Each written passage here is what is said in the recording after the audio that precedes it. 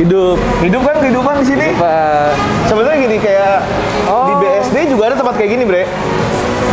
Kayak yang tadi deket Ada. Holy Wings situ-situ tuh tempatnya kayak gini juga. Cuma nggak tahu kenapa gue kayak ada dum gitu. Mau ke bar kita? Oh ya, tapi masa sore-sore ke bar anjir? Nggak apa-apa ya, ambil ngobrol aja dulu. Mau lu? Ayo. Serarin deh gue. Ayo. Lu pernah lu? Nah, bangunannya nggak kayak tadi, Ting. Pernah lu ke sini? Belum. Belum, tapi gue udah liat di Instagram. Oke. Tuh lihat M Block ya. Asik gak? Eh, gue masuk lewat mana, Lai? Hah? Masuk lewat sini? Ini, ini, ini, ini pintu darurat sel 6. Oh, iya. Nah, halo. Ada nggak kosong? Belum? Ada reservasi nggak? Nggak. Bertiga. Ada sama Arin. Arin, Arin.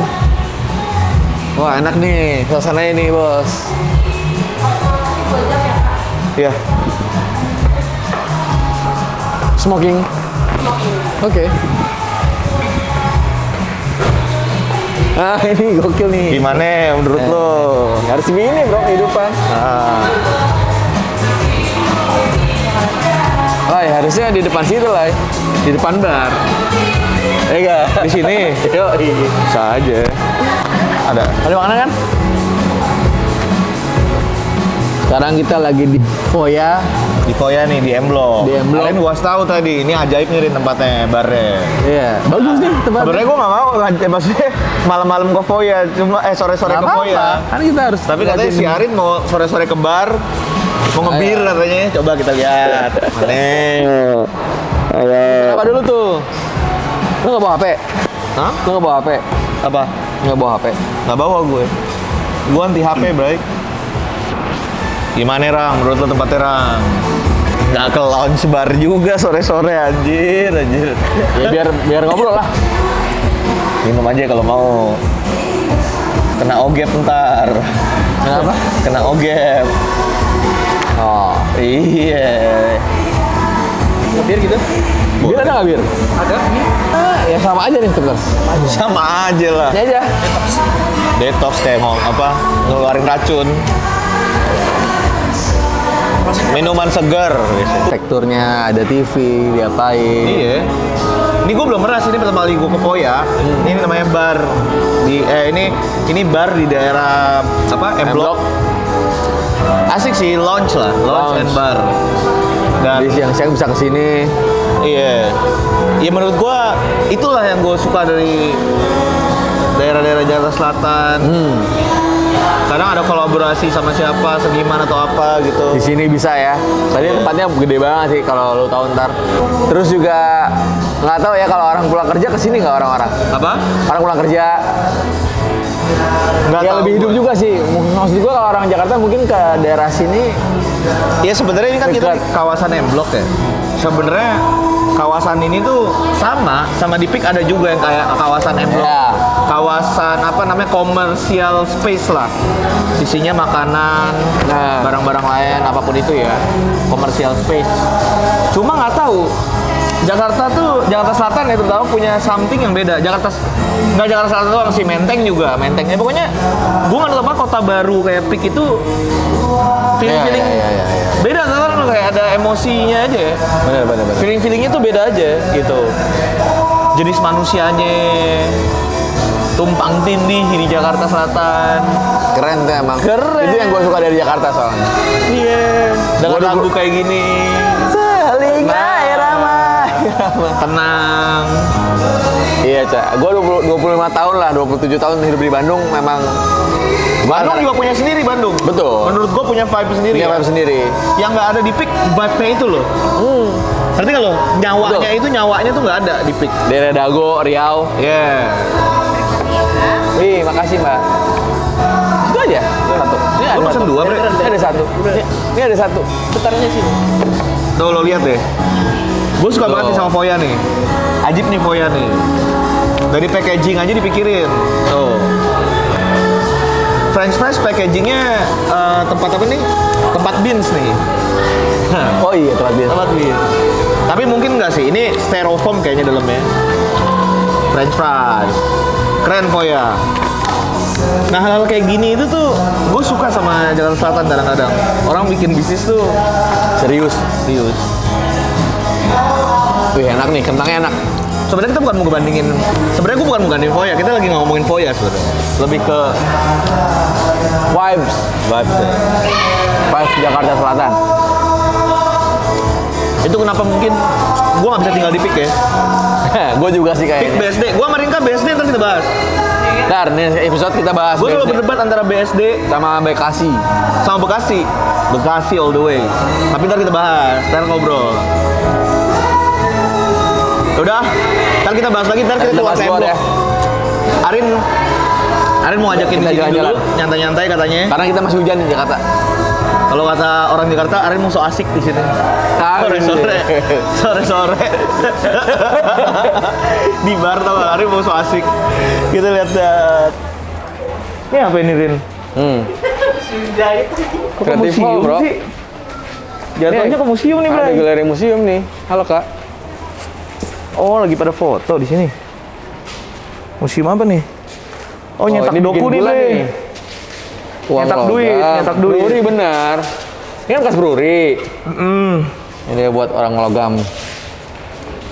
Lapangan bulu tangkis nih. Iya nih, lapangan bulu tangkis.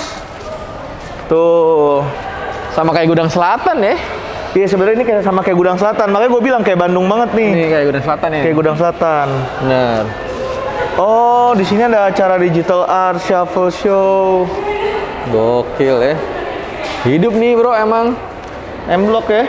Ya Allah hidup nih. Kayak masker bingung gue. Iya. Kurang ya. Kurang emang. Ya udah gini. Ini ya bos.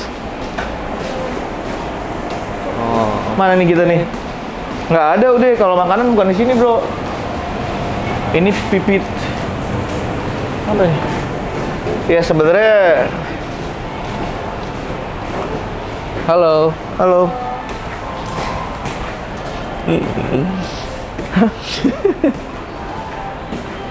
Oh, otop dia. Kita di sini foto-foto anak-anak ini bisa. Keren sih tempatnya. Ini tempat Oh, Itu kayak apa? ya. Gang disco. Coba kita kiri, Cak. Kiri ya. Halo, Mas. Burger nih, Cak. Lo mau Ada makan bakmi lo? Jogja, ada bakmi Jogja. Jangan yang isi ini bro. Emang di sini asik ya? Kayaknya asik sih ya Iya, tempatnya. Daripada di luar. Wah ini ajib nih. Wih, ini ajib nih.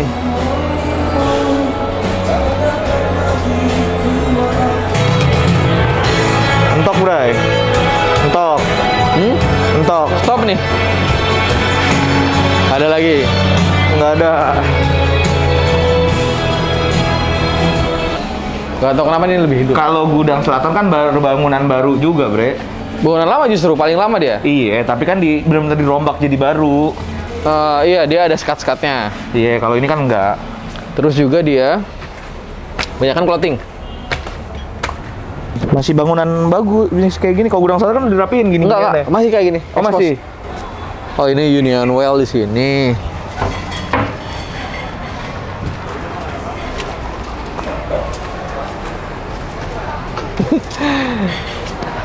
Udah tua ya. Udah tua ya gitu ya. Jalan gini. Ngisup juga Ngisup ujung-ujungnya. Nggak ada apa ya? Esensi yang Ke sini, ke sini, ke sini. mungkin cocok cak untuk Hah? Anak-anak muda yang baru pacaran, Iya, asik sini yang masih ya, muda. yang mau foto-foto. Asik sih. Ke kanan ya. Kanan. Kopi. Ya?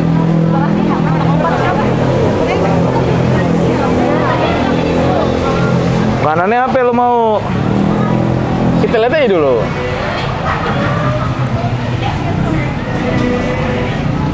Oh. Steak and grill. Kurang ya?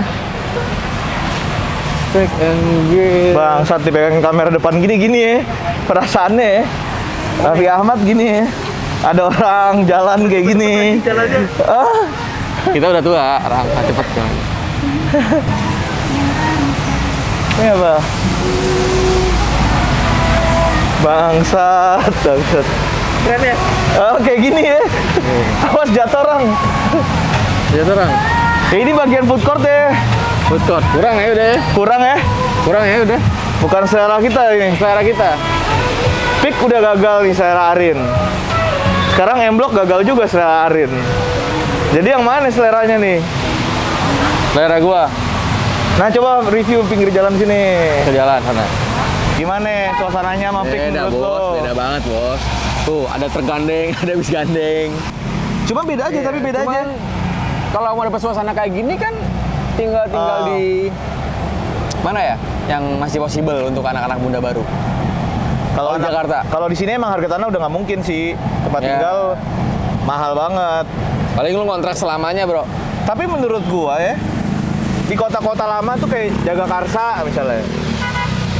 Terus kalau di Jakarta dekat, ya, masih dekat, masih dekat. kalau di Jakarta ya, misalnya Jagakarsa, Hmm. Depok, Jauh juga jauh. sini bro. Nggak, tapi bukan perkara jauhnya, suasananya. Gue kalau kayak Pik tuh kaku banget. BSD tuh kaku banget ya. Bintaro misalnya. Masih ada tuh suasana-suasananya kayak gimana gitu. Kalau terlalu kota rapih banget kayak gitu kayak ini aja sih gue. Iya, tapi kalau untuk tinggal mungkin kalau buat keluarga baru beli rumah untuk menengah ke atas terlalu mahal. Kalau di Kenapa? sini Di sini mahal. mahal. Jadi mampunya mungkin di daerah-daerah seperti Pik tadi kayak di BSD mungkin Bintaro Nggak juga mungkin. sih, nggak juga. Di Bekasi murah. Iya, maksudnya Bekasi boleh. Maksudnya kalau Kalau Jakarta? baru kalau Jakarta susah. Jakarta banyak. Banyak, Bray. Di mana? Ya dari dari Jakarta. Di Jakarta jauh juga tetap masih jauh. Bukan bukan perkara jauh apa enggak, daerahnya. Masih jauh lah itu lah. Ya Pik lebih jauh lagi, gila. Iya, seenggaknya mungkin di sana bisa ada integrasi, ada nanti ada apa, nanti ada apa, nanti apa. Kalau gawainya di Kuningan, puyeng juga dari Pik. Mungkin gawenya nggak di Kuningan kalau orang pik harusnya. Iya. Mungkin bisnis. Pebisnis? Nggak tahu juga. Coba lo mau Tapi di kalau- lo, lo mau tinggal di Pik lo? Karena kalau based on my background, nggak mungkin. Kenapa ya? Ya nggak ketemu orang-orang yang penting yang bisa kutemuin kalau di sana. Sama aja kayak gue tinggal di Bandung dong, jauh. Mendingan gue ngontrak selamanya di Jakarta, kalau misalnya gue masih pas-pasan, tapi di tengah kota. Bisa ketemu orang cepet, terus dapat suasana suara Jakarta, tinggal pakai sepeda, pakai keyboard mungkin, nyari-nyari makanan di sini. Jakarta ya. Ini emang kota ini emang ajib banget, gaib banget sih. Gaib banget. Gaib nih. Ini Blok M gaib nih, Blok M nih. gue pernah dipalak nih di terminalnya. Waktu SMA gue pernah dipalak, tapi udah bagus sekarang nggak kayak dulu. So, Nah, terus- kayaknya gitu aja kali Coy ya. Deh jalan-jalan doang kita hari ini ya. Jangan dong hari ini mungkin di next episode mungkin bahasnya BSD, Bekasi. BSD Bekasi. Kelas tahu lo Bekasi. Ntar. Ya. Perbandingan Bekasi Pang City. Bekasi Bang City sama BSD. Iya. Kita ketemu di vlog selanjutnya. Yeah. So, I think that's all for today teman-teman. Terima kasih udah nonton dan see you next vlog.